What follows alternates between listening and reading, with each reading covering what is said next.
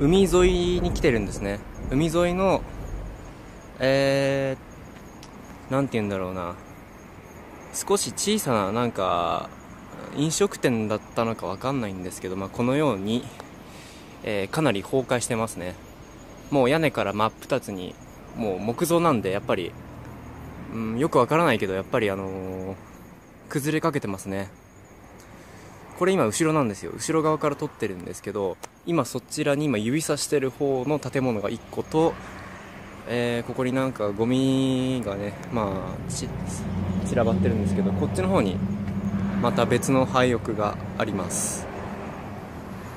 こっちはよくわかんないんですけどこっちはとりあえずあのもろ道沿いにあるにもかかわらず放置されてるっていう状態ですね。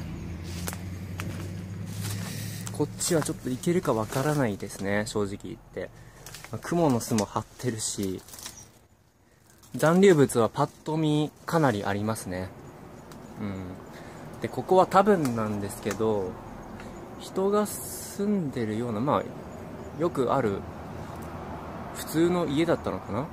うん、年代とかは全然わかんないんですけどね。よいしょ。とりあえず、えーと、俯瞰してみますか。全体的にね、えー、まあ、不法投棄ですね。不法投棄の、もう、方向になってますね。もう見たらすぐわかります。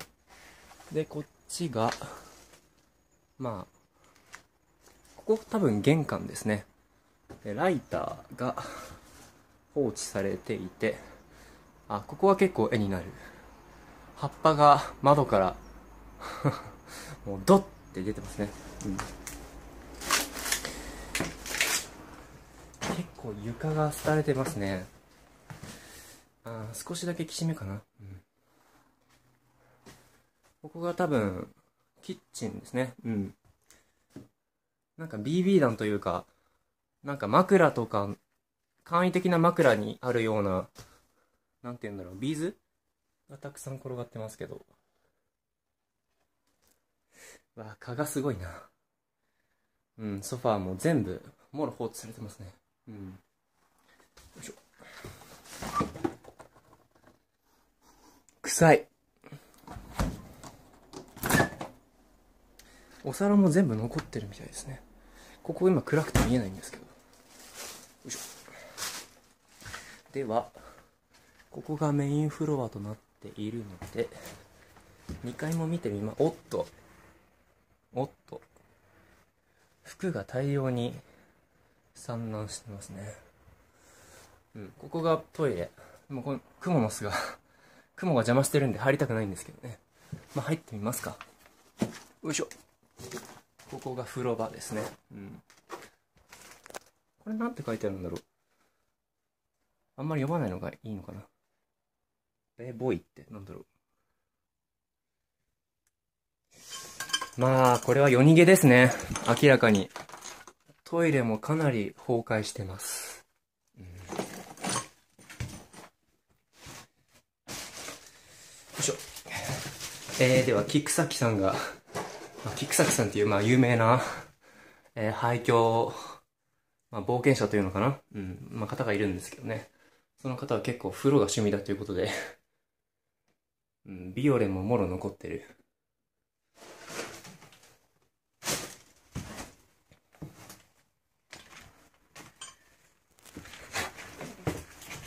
しまった。顔にもろ、顔にもろ、クモの巣が。ここ結構、虫が多いですね、やっぱ。夏なんで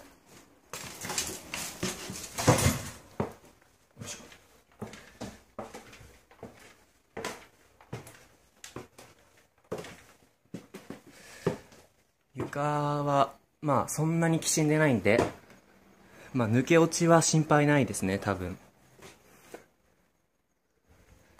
あこれはひどいな。ん？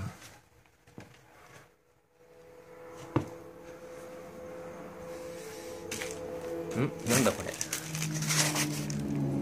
マニラツ？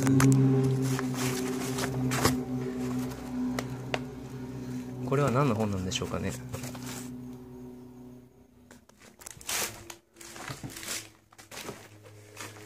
構多いな。やっぱりそっち系の人だったのかなこういう。まあ虎柄のやつを見ても。まあこういう酒？酒の瓶っていうのかな？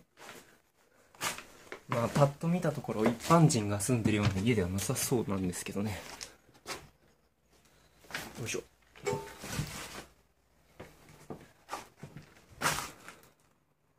これは何だろう？ベッドも全部残ってますね。まあまあ結論から言わせるとまあもろ夜逃げという感じですね。まあ雨ざらしになってるんでねもうちょっと匂いも若干カビの匂いがしますね。うん。といってもそこまでひどい匂いではなさそうですね。うん。こそ海なんでね。まあ物はいちいち見てると結構キリがないんでまあさっと飛ばす感じでいきましょう。なんだろうこれ。なんか変な女の人のなんか本みたいなのたくさんあるけどな。ん？洋書？洋書じゃんこれ。値段表も全部ちゃんと残ってる。じゃあ、えー、この辺にて終わりたいと思います。ここはね大体見たんでね。なんでこんな放棄してあるんだろう。はい。というわけで、えー、ここの廃屋はまあね。まあ個人的な経験からするとここまで残留物が残ってるのを見るのは初めてなんでどこからどう当たればいいか分かんないですね。うん。もうただ散らかってるっていう感じしかない、まあ、こういうとこ見れば若干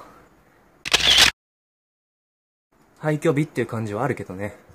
まあそこにリッツがあるんでね、うん、もう早速廃墟日からもう逸脱しちゃってしまいます、うん、リッツ邪魔なんだマジで、